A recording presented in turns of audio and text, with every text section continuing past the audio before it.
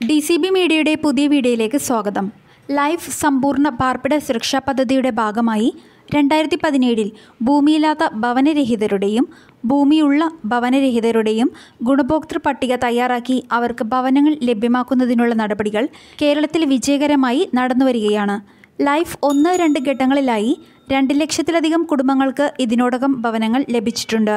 ഭൂമിയില്ലാത്തവർക്ക് ഭവന സമുച്ചയങ്ങൾ പണിയുന്ന മൂന്നാം ഘട്ടവും ഇപ്പോൾ നടന്നുവരുന്നു. ആദ്യ മൂന്ന് ഘട്ടങ്ങളിലും ഉൾപ്പെടാതെ പോയവർക്കായി വീണ്ടും ലൈഫ് മിഷൻ ഓൺലൈനായി അപേക്ഷിക്കുവാൻ അവസരമൊരുക്കിയിരുന്നു. കോവിഡിന്റെ പശ്ചാത്തലത്തിൽ പലതവണ അപേക്ഷാ തീയതി നീട്ടിയിരുന്നു. സെപ്റ്റംബർ ഇരുപത്തിമൂന്നിന് അവസാനിച്ച ഈ ഘട്ടത്തിലൂടെ എട്ട് ലക്ഷത്തിലധികം പുതിയ അപേക്ഷകളാണ് ലൈഫ് മിഷന് ലഭിച്ചത്. ഇതിൽ നിന്നും അർഹതയുള്ളവരുടെ ലിസ്റ്റ് തയ്യാറാക്കുന്നതിന്റെ വിവരങ്ങളാണ് ഈ വീഡിയോയിൽ നിങ്ങളുമായി ഷെയർ ചെയ്യുന്നത്. ആദ്യമായാണ് ഈ ചാനൽ കാണുന്നതെങ്കിൽ ഇത്തരം ഇൻഫോർമേറ്റീവായ വീഡിയോകൾക്കായി ചാനൽ സബ്സ്ക്രൈബ് ചെയ്ത് ഇനേബിൾ ബട്ടൺ അമർത്തുക. നിങ്ങളുടെ സംശയങ്ങളും അഭിപ്രായങ്ങളും കമന്റിലൂടെ അറിയിക്കുക.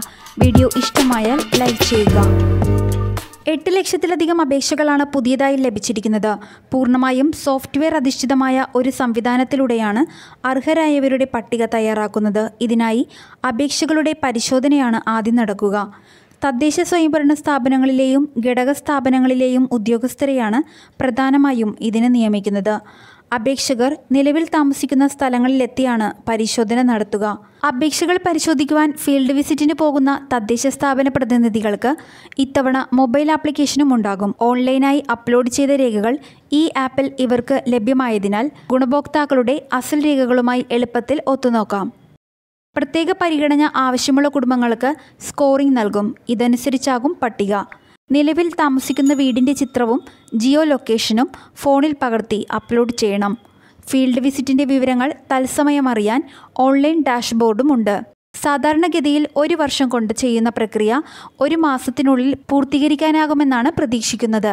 അർഹതാ മുൻഗണനാ മാനദണ്ഡങ്ങൾ വസ്തുതപരമാണോ എന്നത് സമർപ്പിച്ചിരിക്കുന്ന രേഖകളുടെ കോപ്പികൾ അസൽ രേഖകളുമായി ഒത്തുനോക്കി ഉറപ്പുവരുത്തും. ഏതെങ്കിലും സാഹചര്യത്തിൽ അനർഹർ പട്ടികയിൽ ഉൾപ്പെട്ടാൽ അതിന്റെ ഉത്തരവാദിത്വം പരിശോധനാ ഉദ്യോഗസ്ഥനും ഉണ്ടായിരിക്കും. പരിശോധന പൂർത്തിയാക്കി കഴിഞ്ഞാൽ അർഹരുടെയും അനർഹരുടെയും കരട് മുൻഗണനാ പട്ടിക തദ്ദേശ സ്വയംഭരണ സ്ഥാപനങ്ങൾ പ്രസിദ്ധീകരിക്കും. ഈ കരട് പട്ടികയെക്കുറിച്ചുള്ള ആക്ഷേപങ്ങൾ ഗ്രാമപഞ്ചായത്തുകളിൽ ബ്ലോക്ക് പഞ്ചായത്ത് സെക്രട്ടറിക്കും മുനിസിപ്പാലിറ്റി കോർപ്പറേഷൻ ഏരിയയിലുള്ളവർക്ക് മുനിസിപ്പൽ സെക്രട്ടറി കോർപ്പറേഷൻ സെക്രട്ടറിമാർക്കും നൽകാവുന്നതാണ്. ഒന്നാം അപ്പീൽ സ്വീകരിച്ചു കഴിഞ്ഞാൽ അതിന്റെ പരിശോധനയും തീർപ്പാക്കലും ഉടൻ തന്നെ ഉണ്ടാകും. ഇതിലും ഉൾപ്പെടാത്തവർക്ക് രണ്ടാം അപ്പീൽ ജില്ലാ കലക്ടർക്ക് നൽകുവാൻ അവസരമുണ്ടാകും. അപ്പീലുകൾ ലഭിച്ചാൽ രേഖകളുടെ പരിശോധന ഹിയറിംഗ് ഫീൽഡ് പരിശോധന തുടങ്ങിയ രണ്ട് രീതികൾ അവലംബിച്ച് വസ്തുതകൾ ബോധ്യപ്പെട്ട് നിയമാനുസരണമായിരിക്കും തീരുമാനങ്ങൾ കൈക്കൊള്ളുക. ഏതെങ്കിലും കാരണവശാൽ അപ്പീലുകളുടെ ഭാഗമായി അനർഹർ ഗുണഭോക്തൃ ലിസ്റ്റിൽ ഉൾപ്പെട്ടാൽ അതിന്റെ ഉത്തരവാദിത്തം അപ്പീൽ അധികാരികൾക്കായിരിക്കും.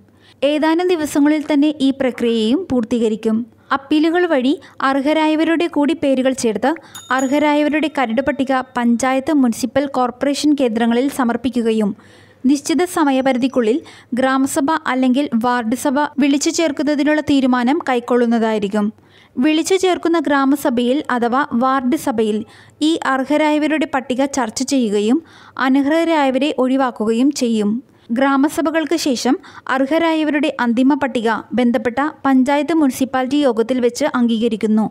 ഇങ്ങനെ ഗ്രാമസഭ തീരുമാനപ്രകാരം ഒഴിവാക്കേണ്ടതായ അനർഹരെ പട്ടികയിൽ നിന്നും ഒഴിവാക്കി അന്തിമമായ അർഹരായവരുടെ മുൻഗണന പട്ടിക പഞ്ചായത്ത് മുനിസിപ്പാലിറ്റി കോർപ്പറേഷനുകളിൽ പ്രസിദ്ധീകരിക്കുന്നതാണ്.